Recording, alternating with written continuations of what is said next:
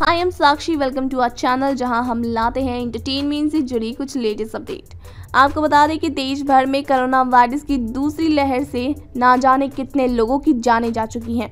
जिस तरह से लोग लगातार कोरोना वायरस से संक्रमित पाए जा रहे हैं, उसकी वजह से देश की चिकित्सा व्यवस्था भी फेल हो चुकी है. हालाँकि इसी बीच में फ़िल्म इंडस्ट्री से जुड़े कई लोगों ने देश में महामारी से परेशान लोगों की मदद करने का फैसला किया है.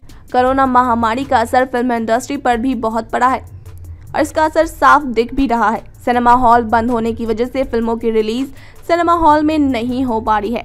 अब इसी बीच खबर सामने आ रही है कि इस वायरस पर अब बॉलीवुड फ़िल्म निर्माण करने वाले हैं।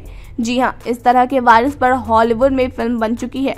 बता दें कि अब कोरोना वायरस जैसी महामारी में हॉलीवुड फ़िल्म इंडस्ट्री ने अब तक ना जाने कितनी फ़िल्मों का निर्माण किया है भारत में भी अब ऐसी ही फ़िल्म बनने जा रहे हैं, जिसमें अमिताभ बच्चन, दीपिका पादुकोण, प्रभास जैसे कलाकार मुख्य किरदार में नज़र आने वाले हैं।